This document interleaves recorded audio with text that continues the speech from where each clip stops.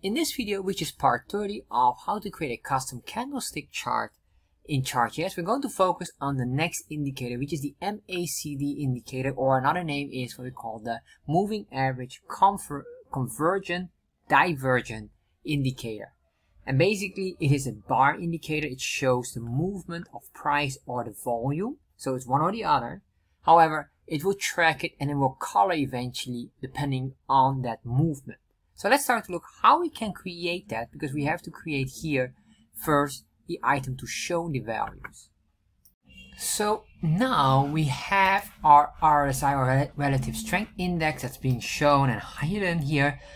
Now what I want to do is add up another item which is called the MACD which is called the moving average convergent divergent and that will allow us to create bars and these bars will eventually be colored but what we want to do first is to have these bars being shown in here.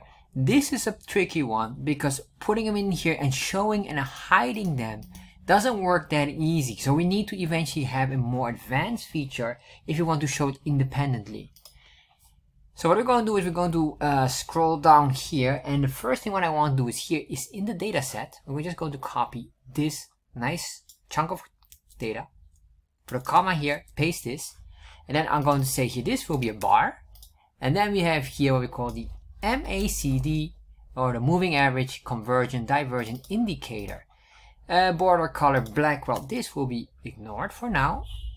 And then we have the data here, but this data, this is very important, this data must be again with two specific values.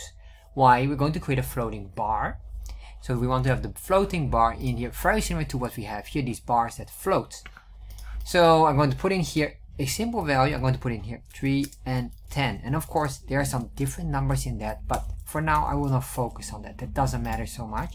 Let's get it working first. And then afterwards, we can make this nicely.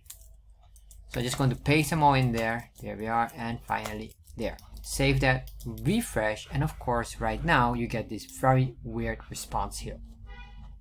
So what is truly happening, it doesn't understand that this is a separate chart or separate item that should be stacked on top of each other.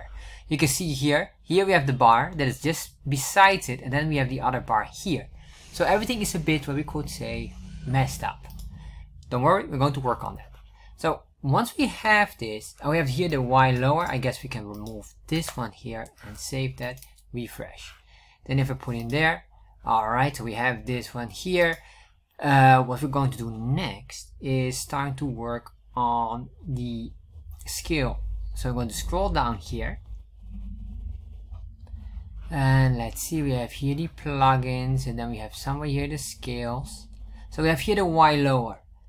And what we need to do is if we want to put it somewhere between, we can just copy one of those and put it in there. So I'm just going to put that in here and let's see what where eventually ends up. And what I'm going to give this name is the YMACD, which is the moving average convergence indicator. Begin at zero could be true, maximum, well, this chart will depend on it, so it doesn't matter really. Uh, it has a different indicator structure. So I will ignore that for now. I will not work on making it perfect, but what I'm going to do is here, I'm going to force this on one for now. We have these ticks here, counts, display false. Um, let's maintain this for now. If I save this, refresh, and then if I select this, what happens is you can see here now we get these bars here, but I want to make sure that they are officially aligned with each other. So for that, we need to basically indicate that the X scale is being stacked. So I'm going to go up here, and I'm going to say here, stacked equals true, comma, save, and look now, you can see here now it's being stacked nicely if I select this one.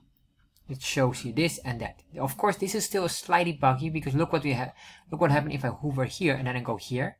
You can see it's buggy. So I have to figure out this here or how we can at least terminate this issue here. Anyway, we have this now that starts to look nice and then eventually what I want to do is I want to change the colors on this one and uh, what we need to do the colors this is basically based if I'm not mistaken by the price movement or something or volume movement so what I will do is eventually we're going to focus on the colors We're going to make this up and down a little bit so it looks nice. But I will focus on that on the next video where we're going to show that.